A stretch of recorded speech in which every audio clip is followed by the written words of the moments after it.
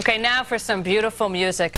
If the Schrade family needed a cliche to live by, it would be the family that plays together stays together. Seven members of one New York City family share one passion, playing the piano beautifully, and their love of music is surpassed only by their love for one another.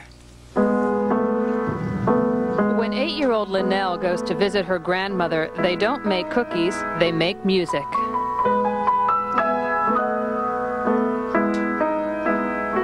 Brahms' Liebeslieder waltzes, to be exact. Linnell is the third generation of the Schrade piano-playing dynasty.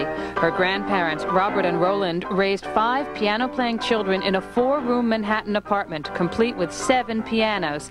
Three of their progeny are concert pianists today. How do you inspire in your children and now your grandchildren such a love of music? Well, we love it. we love it, and it's the one thing we can give them, we think.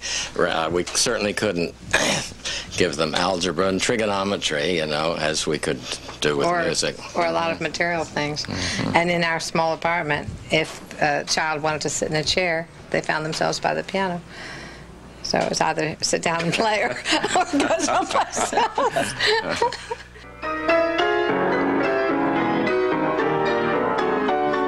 oldest, Robelyn, married New Zealand concert pianist David James, and together they created the first of the next generation, Linnell, who after four years of lessons with her grandmother has decided playing piano is more fun than playing with toys.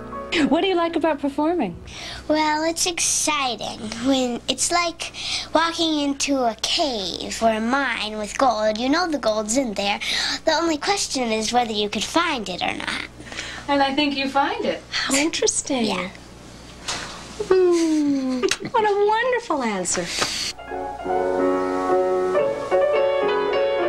Linnell will be joining a 25-year Schrade tradition this summer when the entire family gets together for a series of summer concerts up in the Berkshires. It's called the Sevenars Music Festival in Worthington, Massachusetts. Seven Sundays in July and August in a refurbished school with a dozen pianos. It's called Seven R's for each Schrade first name. Randolph and Rorianne Schrade round out the bill.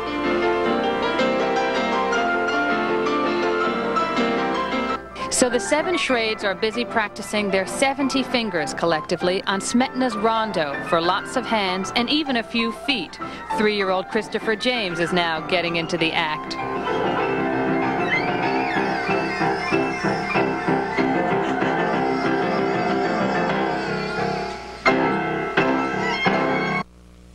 And can you imagine what their neighbors think? Actually, their neighbors love them. Over the years, Robert and Rolande Schrade have, have taught more than 1,000 piano students on the Upper East Side of Manhattan.